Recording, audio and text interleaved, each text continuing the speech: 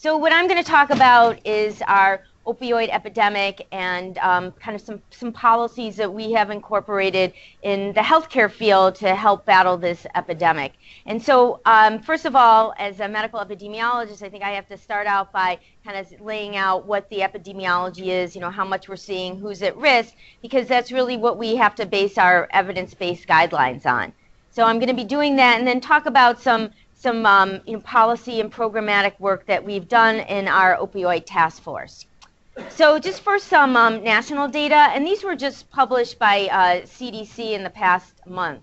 So um, we know that in 2015, there were over 13 million people who used uh, opioids for non-medical reasons. And two and a half million of those are classified as having an opioid use disorder. We know that the, uh, the death rate from um, opioid overdoses has increased substantially in the past 15 years, you know, over 200 percent.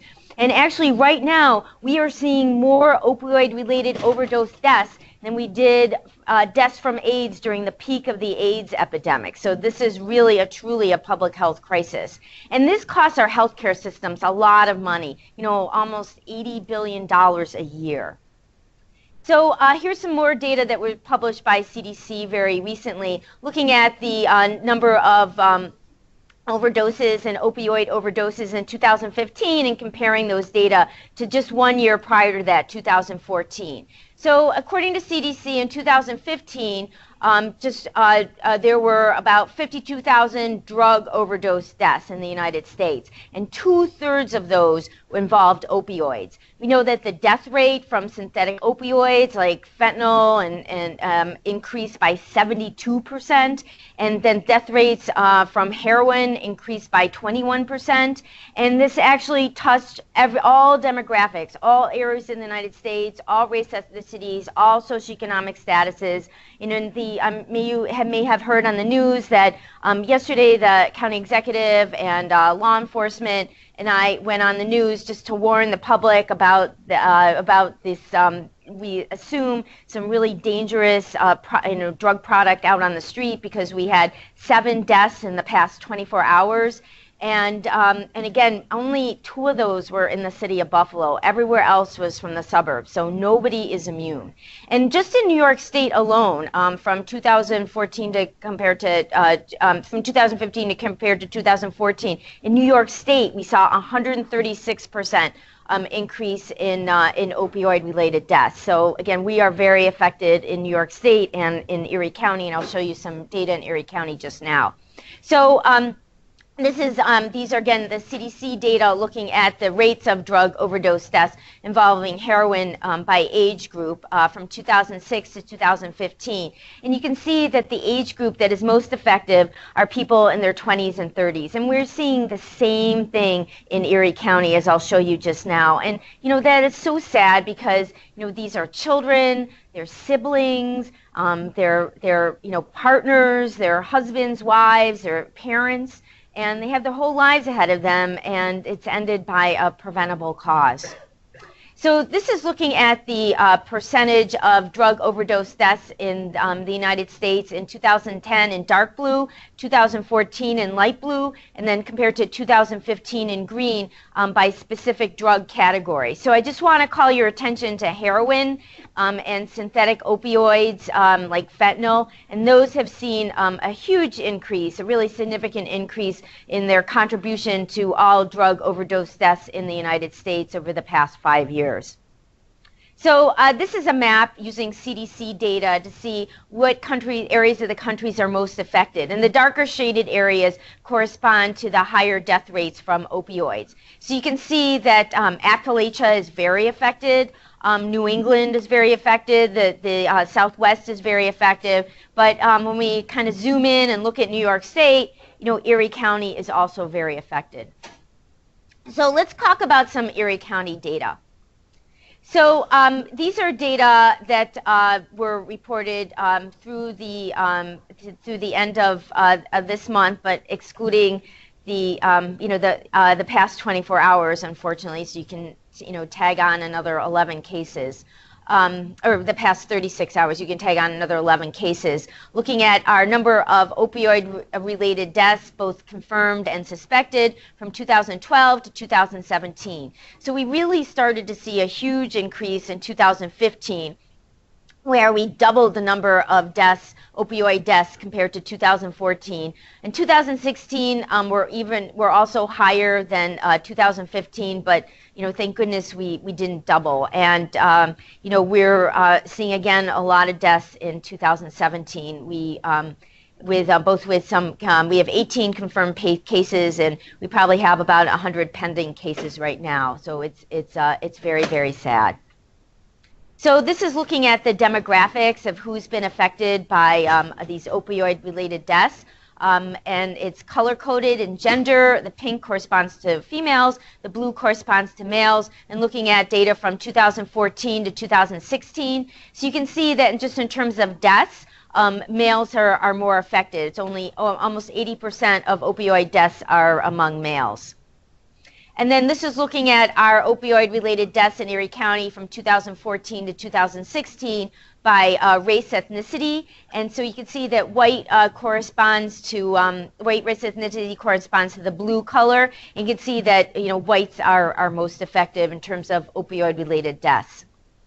So this is looking at the ages of uh, our victims of our opioid-related deaths of confirmed cases in Erie County in 2015 in uh, in blue or uh, aqua and 2016 in green.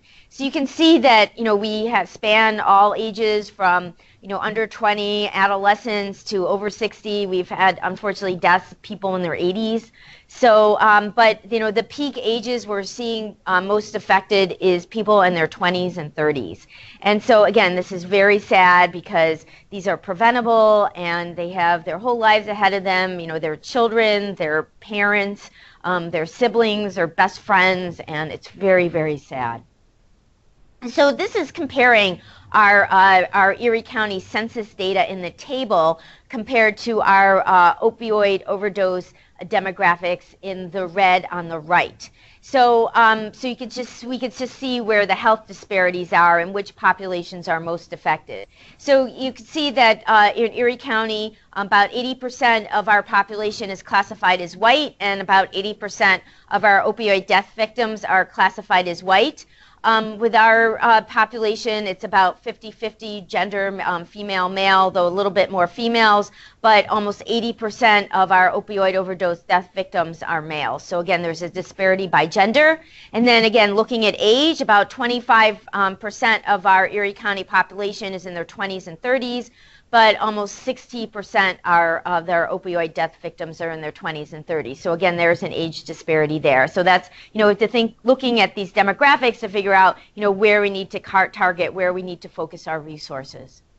So this is looking at um, where our overdose death victims lived. And so you can see in, in Erie County, so you can see that, you know, although 44% of, um, of their overdose death victims lived in the city of Buffalo, um, still, you know, just as um, almost a high, as high percentage lived in the suburbs. And if you're familiar with Erie County geography, it's all over the place, the first ring suburbs, the second ring suburbs, and then also in the rural areas. So there is no place that is safe, it's just in terms of the exposure to, to risk. And this is looking at our um, opioid-related deaths in Erie County in 2015 on the left and 2016 on the right, looking at uh, type of opioid. So we're here, we're specifically, I'm reporting data looking at heroin, fentanyl, combination of heroin, fentanyl, and other opioids. So you can see that where we are trending is, is more deaths being caused to fentanyl. So, you know, fentanyl is a very, very, very potent narcotic pain medication, but it's also being uh, used to, uh, to spike um, the heroin. Just a few grains can cause people to overdose and die, or you know people are just you know seeking just straight fentanyl to get that great high. Um, but unfortunately, it it uh, it works very very quickly, and and people die just you know moments after they uh, somehow uh, however they they take them the uh, the fentanyl. So and and when our um, our medical examiners, uh, scene investigators, you know, tell us that um, they find victims with needles still in their arms or naloxone in the same room, but they just didn't have time to get to it. So it's very, very sad.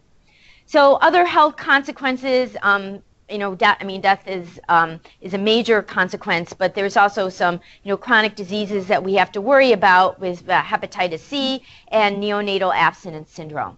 So um, these are data looking at confirmed cases of chronic hepatitis C by age group. So these people, you know, through laboratory data, we assume that they've been infected for at least a year. So, you know, we don't know how long they've been infected for at least a year. And I'm sure as nurses and people in the school of nursing, um, we all know, you all know that in New York State, we're, you know, mandated to test all baby boomers for hep C at least once. So we see we're finding a lot in baby boomers but we are finding a lot in people in their 20s. And again, we don't know how long they've been infected, and they um, so this is really a problem that should be on the radar screen of um, healthcare providers that take care of young people, including adolescents.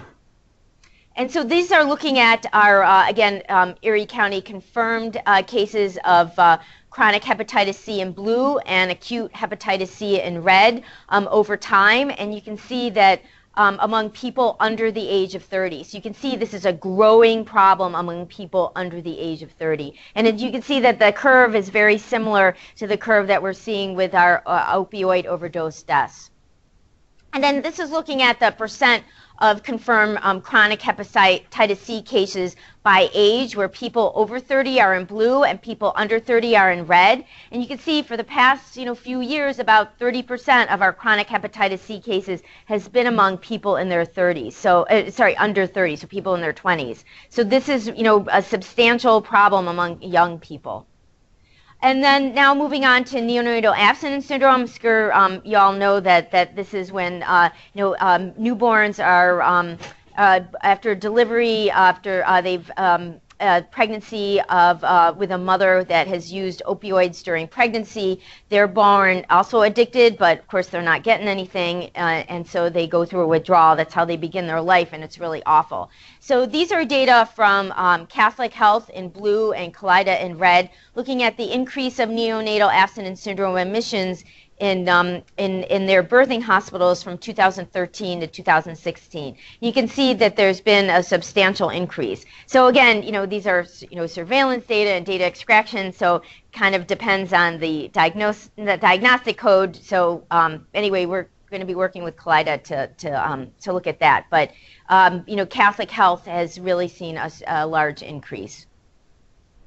So how do we respond in public health? Well, there's primary prevention, you know, preventing the problem from even happening in the first place. So preventing uh, addiction, you know, preventing drug use, drug use. Um, secondary prevention, so people who already have the disease of addiction, you know, getting in into care so they prevent sequela. So that's getting people who are addicted. Remember, it's a disease of the brain. That's where all here at the Health Sciences campus, because this is a disease. You know, getting them into medication-assisted treatment, like we do, we get other people with other chronic diseases into chronic medication medication. Um, so we have to do the same thing with these individuals because it is a disease. And then tertiary prevention is using naloxone to um, prevent deaths, kind of wake people up after uh, they've overdosed.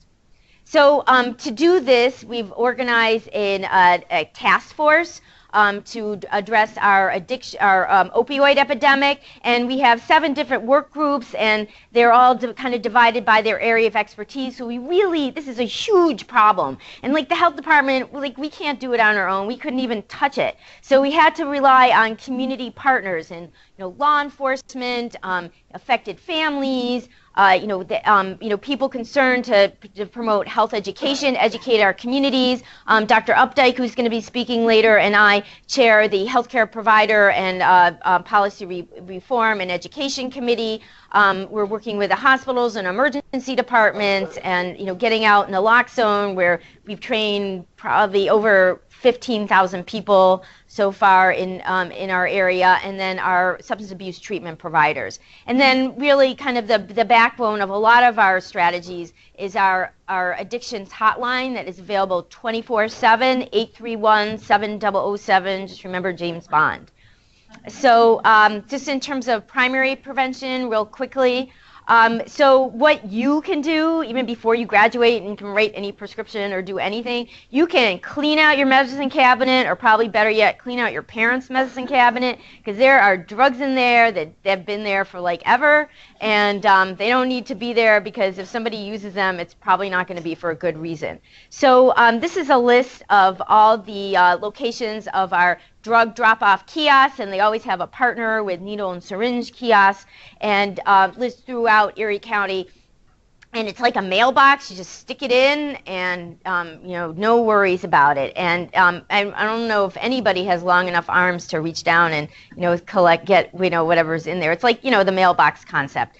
Um, and then we contract with a um, uh, a uh, an agent uh, a, um, a company that um, it collects these and uh, the drugs and burns them so we don't all drink them in um, you know in our water because it's something that our uh, you know uh, water uh, system cannot um, remove. So we don't want to all drink those drugs uh, and then actually, if you want to find out where a drug drop-off kiosk is closest to you, you can go to this website, uh, The Point. Um, type in your zip code. So I typed in the uh, the school of nursing's, um, or type in your address. I typed in the school of nursing's address, and it'll pop up. And so that's in the the green dot is the school of nursing in the middle, and then the little yellow dots are all the drug drop-off kiosks. So anybody can do that.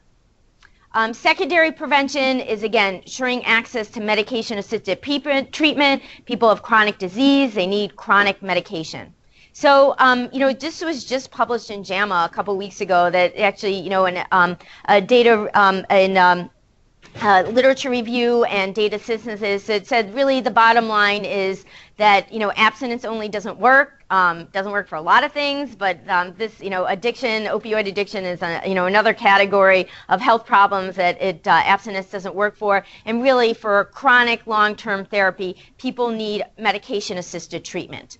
So um, comes in several different flavors. There's uh, methadone, um, and uh, buprenorphine that are very mild opioid agonists. So it's uh, you know it's very difficult to take enough to um, to overdose. And methadone, it's a little easier to overdose, but again, the way it's regulated, that um, you know it's always uh, it's almost always directly observed therapy. So it's it's very highly regulated. Buprenorphine is a prescription medications that people can take in you know the privacy of their own home. So um, and then and and uh, you know physicians who and nurse practitioners and physician's assistants who take a specific um, eight-hour training that uh, uh, Dr. Updike is going to be giving one on June 10th that's targeting OBGYN providers, but primary care providers are super welcome.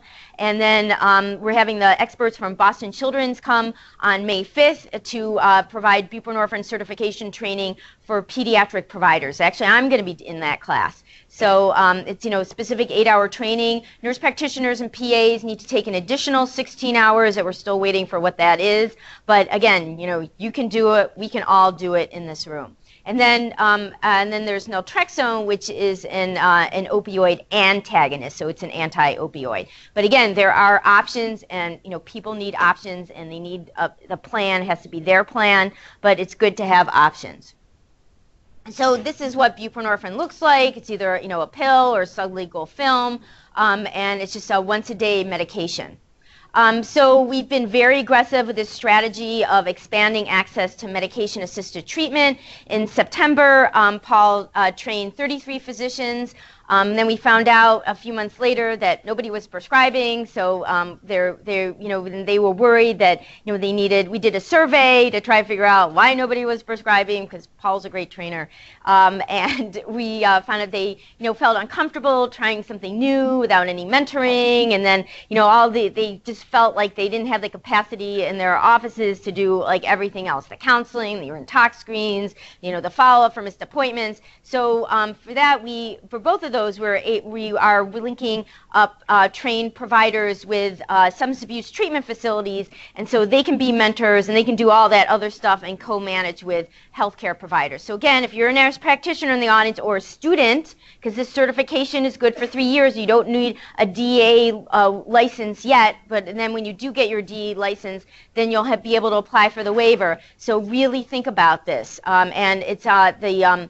Registration's on our website. It's free, C- free CMEs and CEs from UB. It's a great opportunity.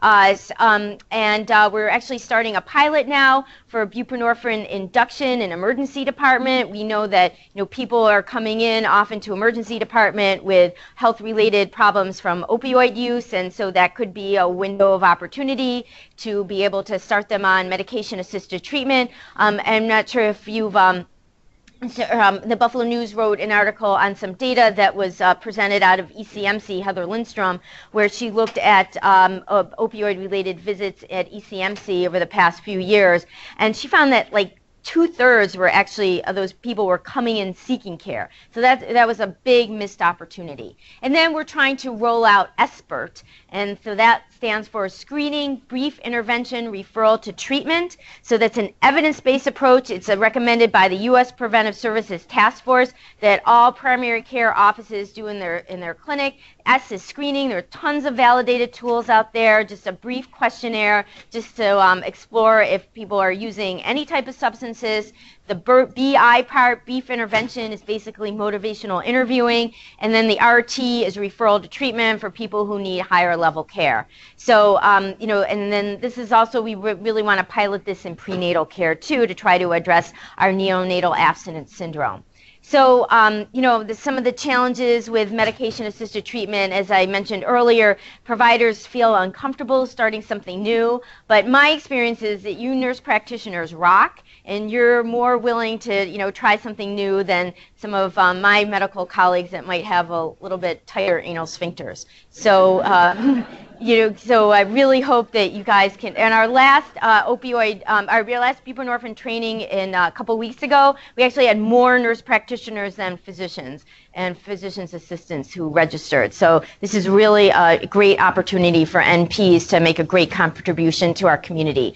Um, you know, we also have challenges with um, the providers that physicians basically that are um, been um, prescribing buprenorphine in the community have developed kind of their own algorithms that are not evidence-based and require prolonged their patients have prolonged detox periods before they'll initiate buprenorphine which like nobody can do and so that's another barrier to care that we're trying to work with um, as I saw showed you that hepatitis C is um, is a big uh, you know um, health sequela of injection drug use. We know that like 90% of these hepatitis C cases among people in their 20s are from injection drug use. So, um, you know, at least. So it's, uh, you know, what they're willing to, to pony up on.